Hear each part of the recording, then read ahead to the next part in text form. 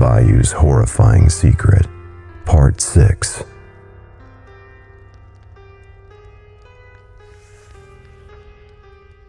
Groggy and disoriented, I slowly regained consciousness. My ears were ringing, a relentless tinnitus that seemed to cloud my entire awareness. My vision was awash with splotches of glaring white, like a photographic negative. The flashbang had done its job and then some.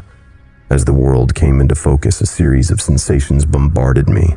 The musky smell of damp wood, the stickiness of the swamp mud on my skin, and a sharp, sickening pain in my dislocated shoulder. Gradually, shapes started to form in the haze before my eyes. Gabby's face, gaunt and hollow, materialized in front of me. Are you okay? She whispered. Her voice was shaded with worry. It took me a moment to realize she was speaking. My ears still felt like they were stuffed with cotton. I opened my mouth to respond, but my stomach churned violently. Gabby seemed to anticipate this, swiftly handing me a bucket. I barely had time to lean over before I vomited, my insides twisting painfully. Setting the bucket aside, I couldn't help but notice the stench that now mingled with the overpowering odors of the hut. It was then that I realized what the bucket had been used for. Gabby had been in captivity for weeks. Is Ash, is my partner okay? I asked Gabby, a sense of urgency hardening the edges of my voice.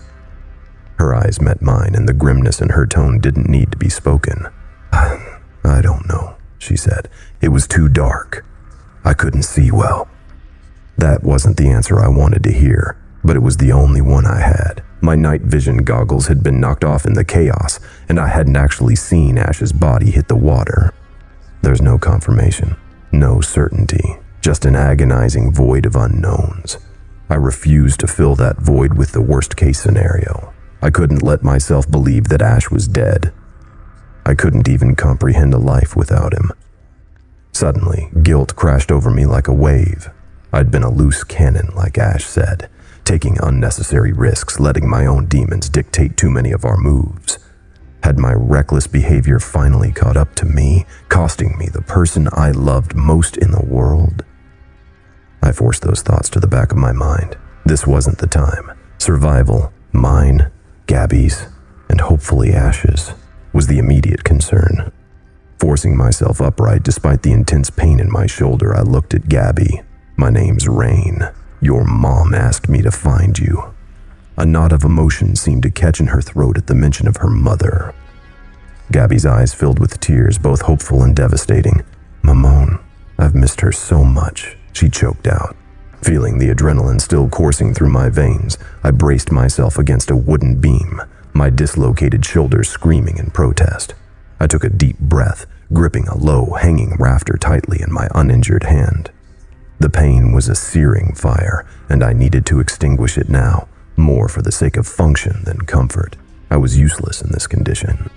Well, what are you doing? Gabby's voice trembled, her eyes widening as she caught on. Putting my shoulder back in place, don't worry, I've done this before. I tried to reassure her, although the cold sweat on my brow likely betrayed my stoicism. Turn away if you have to. This isn't going to be pretty. With a grimace, I positioned my shoulder under the rafter and used my good arm to apply downward pressure. The pain crescendoed, sharp and intense, pushing through every fiber of my being. I bit my lips so hard I could taste blood, suppressing a scream. Then, with a nauseating pop and a rush of blinding pain, my shoulder slid back into its socket. My legs wobbled and I staggered back, clutching my newly aligned arm, which now throbbed in a dull ache rather than a sharp burn. The whole ordeal took mere seconds, but it felt like an eternity of torment. It still hurts like a motherfucker, though. I managed to gasp out, trying to mask the agony with a weak laugh. Gabby's eyes were wide, her lips trembling. I, I, I can't believe you just did that, she stammered. I had to. We need to find Ash and get out of here. The thought of my husband brought a renewed surge of panic and determination. Are you all right, Gabby? I asked, though the question seemed almost absurd given her obvious physical and emotional state. No, not really. But I'm alive, I guess, she replied, her voice tinged with despair. As my eyes adjusted to the darkness, I knelt down next to Gabby and conducted a quick physical examination. My heart sank as I discovered the full extent of the atrocities inflicted upon her. Visible bruises and cuts littered her exposed skin, and her clothing was tattered and smeared with dirt and dried blood. As I ran my eyes over her body, I noticed a dozen different marks burns, claw marks, puncture wounds. Her eyes had a lingering fear in them, and her hands were shaking when I checked her vitals. What did he do to you? I asked as gently as I could. He likes my music, she began. He says it soothes his madness. He would come to me almost every night, listen to me play, and do other things. Her voice broke and the air grew thick with unspoken horrors. I knew there was nothing I could say that would make things right. The weight of what Gabby had been through was so much more than words could ever mend. I reached out and pulled her into a tight embrace, feeling her body shake with quiet sobs. She cried into my shoulder, and I held her there, providing a small, fleeting haven in a world that had shown her too much darkness. It's going to be okay, I whispered, though I wasn't entirely sure I believed it myself. The words felt hollow in my mouth, but sometimes even the thinnest thread of hope is better than none at all. After a few minutes, Gabby pulled away and wiped her eyes, sniffling. We need to go, don't we? We do, but first, we need weapons. Anything that can give us an edge, I said, scanning the dimly lit room. I don't think you'll find anything useful here, Gabby replied, her voice tinged with resignation. He stripped the place bare. We have to try.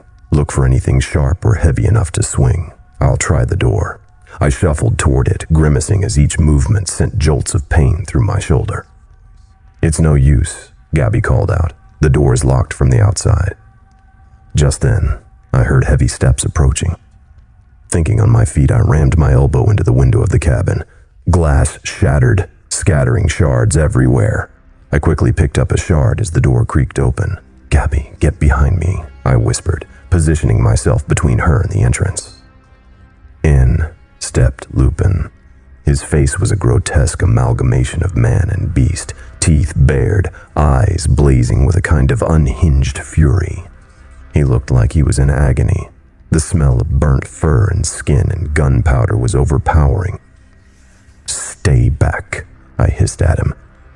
He grimaced, and it was hard to tell where the man ended and the werewolf began.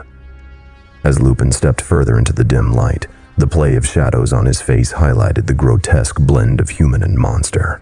Yet, for all his terrifying aspects, there was a haunting sadness in his eyes. I instinctively recoiled in fright.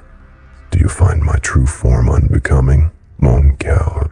He asked, a sneer tugging at the corner of his mouth. You looked better in the profile picture, I retorted, keeping my eyes locked on his. You survived my embrace, Lupin said his voice a coarse blend of human and animalistic tones. I'm impressed. What can I say? I'm full of surprises. I shrugged defiantly, my voice steady despite my racing heart. Lupin snorted, a sound that was more animal than man. I'd be careful, ma chérie. I'm not in the mood for games. Who's playing? My eyes darted around the room, taking note of the exits, the furniture, any potential weapon or obstacle. I locked eyes with Lupin, maintaining a steady gaze. You look like you've seen better days, Lupin.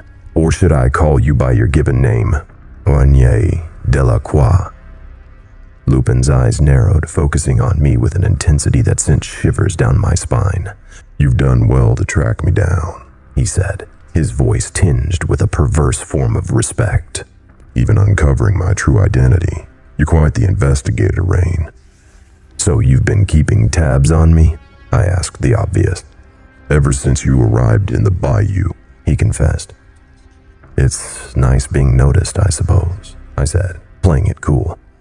Ah, Rain Tran, such an intriguing juxtaposition of names, he mused, rolling my name on his tongue like it was a delicacy. I always make it a point to know the names of my prey. It makes the hunt that much more intimate. My eyes darted to Gabby. She looked petrified but alert. She was ready to move at my signal. Enough about me, I said, gripping the edge of a table for support, my eyes never leaving his. Tell me, Lupin, What happened to you? Lupin seemed to weigh my question in the air before finally letting out a low, rumbling growl. What happened to me? A fitting question.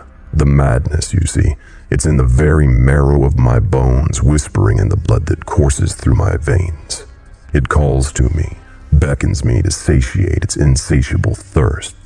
His voice was hypnotic, and for a moment I was lost in it, but the atmosphere suddenly shifted, tension electric in the air. I noticed his stance waver ever so slightly. His eyes flitted, unfocused, as if struggling with some internal agony.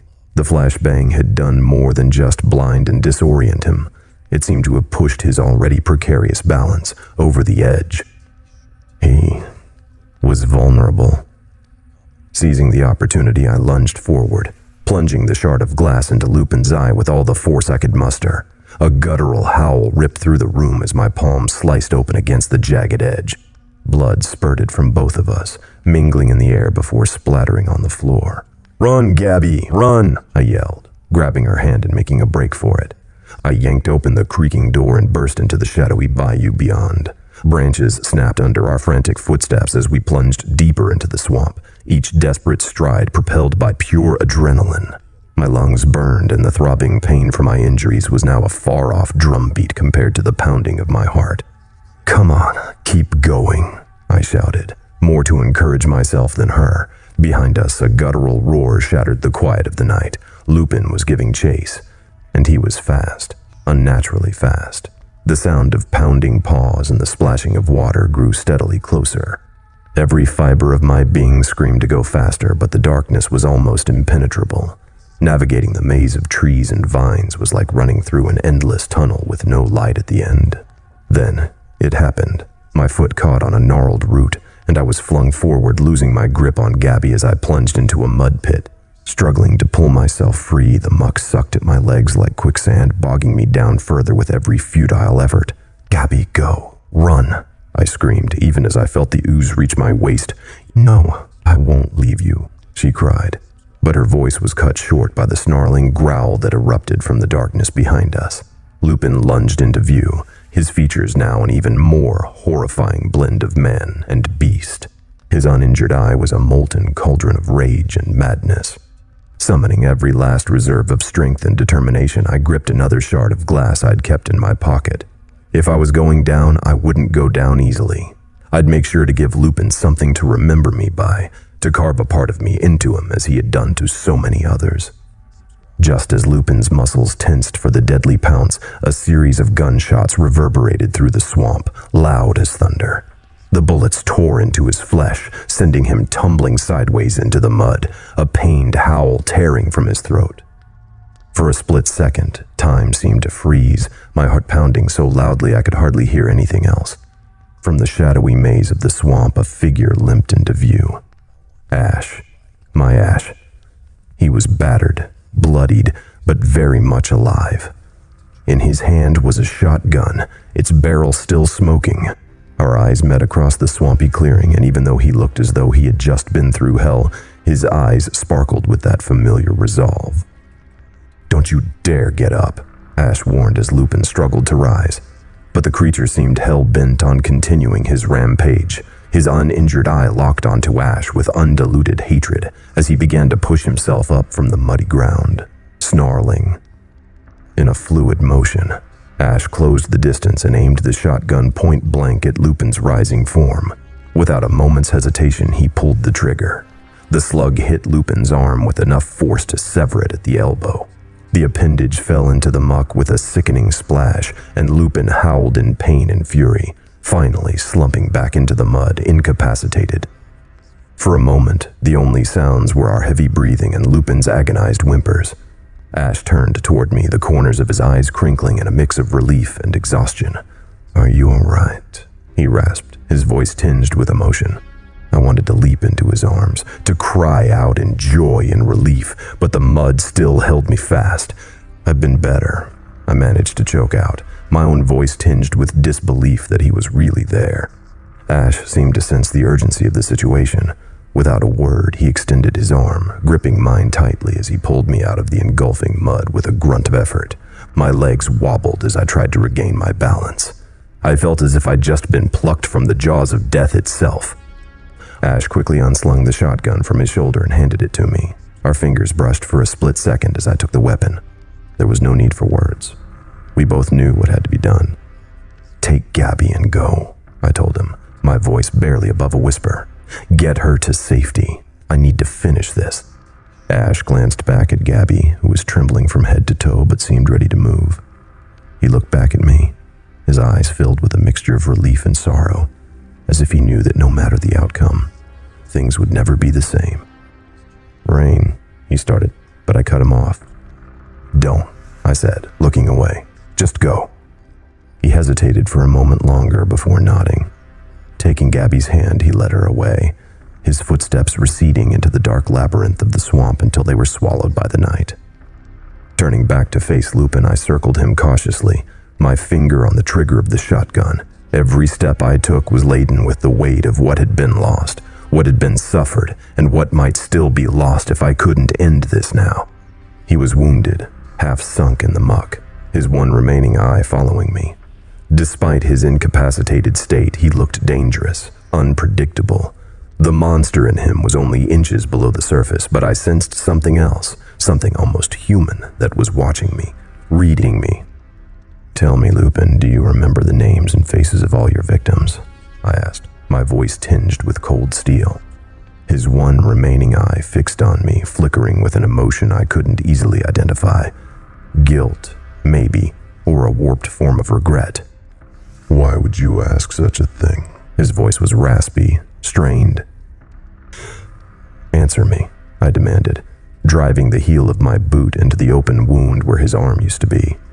A scream of agony erupted from his throat, filling the swamp with the sound of his suffering. For a moment, I was sickened by the satisfaction that washed over me, a cruel pleasure in knowing that he could feel pain, that he wasn't invincible. His lips curled into a snarl, but the sound that came out was more a whimper than a growl. Yes, he finally admitted. I remember them all. Their faces haunt my dreams, their screams serenade my nightmares. Then you'll remember Claire Lusion, won't you? My voice was steady, but the name stirred a storm of emotion inside me. The flicker in his eye changed, darkening as he processed the name. Claire, he said, almost whispering, as if the very name would shatter him. Ah, yes. The eyes that held a world too big for her small existence a voice that should have sung lullabies but instead only knew screams. My trigger finger twitched. Every fiber of my being screamed to end him right then. What happened to her? My voice hardened, the shotgun feeling heavier in my hands. For a moment, the air hung heavy between us. Lupin's eye flickered, and I saw something in him break. Claire, he breathed, the word carrying a torrent of unspoken sorrow and shame. She, she fought. She had fire. But not enough to save her from you, I retorted, my resolve unwavering. Oh no. No, not enough. The monster in me, it's insatiable. It takes and takes, leaving nothing but death in its wake. She was no different. Do you know who I am? Who I really am? I asked, my voice dripping with a venomous calm that seemed to cut through the murky air. For a moment, his eye widened as if something crucial had just clicked into place. But then, he shook his head, the motion sluggish and impaired from his injuries. No. Should I? He snarled. I felt a wry smile stretch across my lips. My name is Rain Lusion, I declared using my maiden name. Claire Lusion was my sister, as the weight of my words settled in the murky air, I saw Lupin's eyes widen ever so slightly, realization dawning on him like the morning sun over a blood-stained horizon. You have her gray eyes, he whimpered. You took her, Lupin. You kidnapped her, tortured her, and then you killed her. My sister, my baby sister. My voice trembled despite my attempts to keep it steady. Lupin's gaze wavered, a mixture of fear and remorse seeping into his eyes. For a moment, he appeared more human than monster, and I wondered whether the sliver of humanity that seemed to surface was genuine. I am many things, he rasped, his voice broken. But there's a part of me a part buried so deep inside that remembers what it is to be human, a part that is disgusted by what I've done. He paused, his eye locking onto mine as though searching for some kind of absolution. It was the same look I'd seen on countless criminals. The look of someone who knew they were caught, who knew they were facing a reckoning they couldn't escape. As a former cop, my duty seemed clear. Arrest him, bring him in, and let justice be served. But the justice system was far from perfect. This was a being whose essence was split between man and monster, a creature of the night that reveled in the hunt and the kill. What kind of trial could accommodate such a dichotomy? What jury could ever understand the complexity of a life torn between humanity and primal urge? The thought of this monster being acquitted on a technicality or escaping to kill again was a risk I wasn't willing to take. Even if we could hold him, what prison could contain a werewolf? The shotgun felt heavy in my hands, its cold steel seeming to absorb the ambient moonlight. I lifted it, leveling the barrel at Lupin's head. My finger caressed the trigger, hesitant but determined. This was it my moment of catharsis, my moment of justice for Claire, for all the faces and names he claimed to remember in his tortured dreams. Do it, he rasped, a bitter smile curling his lips. End it. End me. Maybe. Just maybe. In death, I'll find peace. And maybe you will too. A heavy silence hung in the air one that seemed to drown out the sounds of the bayou, the rustling leaves, and the distant cries of creatures unknown. My thoughts flashed to Claire, to her laughter and joy, and then to the life she could have lived. For what seemed like an eternity, I stared into Lupin's eye, searching for something, anything, that might change my mind. Then, with a resolve hardened by years of regret, of missed opportunities and lost lives. I tightened my grip. Rendezvous en enfer. See you in hell, I whispered. The shotgun roared, its deafening blast reverberating through the bayou like the wail of an anguished soul. Lupin's head snapped back, and he slumped into the mud, lifeless, the last vestiges of his monstrous existence obliterated in a singular act of vengeance and justice. I stood there, the smoke from the weapon dissipating into the humid night, my body trembling from the aftershock of what I'd just done. I felt hollow, like a vessel that had been emptied, and yet was still laden with an invisible weight but as I stared at the lifeless form before me, I felt something else too relief. And in that relief, I found a glimmer of the peace I'd been seeking for so long. With a grim sense of finality, I used the butt of the shotgun to push his lifeless form further into the muck. The swamp was known to keep secrets well. It would claim him, enveloping him in its fetid embrace until he was swallowed whole, leaving no trace. I was certain no one would ever find him, and if the Bayou chose to keep this secret, who was I to argue? I turned away, taking a deep breath as I prepared to retrace my steps back through the bayou. Ash and Gabby were waiting, and there was a lot to explain, but for the first time in years, I felt ready to face the future, no matter how uncertain it was. As I walked away, I couldn't help but feel that I had reclaimed something that had been stolen from me, from Claire, and from all the lives Lupin had shattered. Justice had been served, but it was a justice born from darkness, wrought by hands tainted with the very evil they sought to destroy. And yet, as I emerged from the shadows of the swamp, I felt the dawn of a new day rising within me, a day where the names and faces that haunted my past could finally rest in peace. I found Ash and Gabby on the edge of the swamp, the floodlights of the airboat illuminating their anxious faces as they saw me emerge from the darkness. Gabby rushed into my arms, tears streaming down her face. Is it over? She whispered, her voice tinged with hope and fear. Yes, I assured her, pulling her close for a moment before releasing her. It's over. We drove Gabby back to her home where her mother, Therese, was waiting. The moment we pulled into the driveway, the front door burst open and Therese sprinted toward us, enveloping her daughter in a hug so tight it seemed she'd never let go. Through her tears, she thanked us, her voice breaking as she expressed her gratitude. I. I just. I don't know how I can ever repay you, Therese managed, her eyes meeting mine. You don't have to, I replied softly, then added, just take care of her. Returning to New Orleans, I resumed my relatively mundane life as a private eye. The days now consist of trailing cheating spouses, conducting background checks, and occasionally finding missing pets, tasks that seem trivial compared to the recent events in the bayou. Yet, the regularity, the humdrum routine, is a comforting balm to my frayed nerves. Our physical wounds eventually healed, but the emotional ones still feel raw. Ash, my one constant, knows my traumas better than anyone else. He never presses for details, never pushes me into reliving the dark moments that haunted my dreams. His love and understanding are an unspoken promise, a sanctuary where I can escape the horrors that my past and my profession sometimes conjured.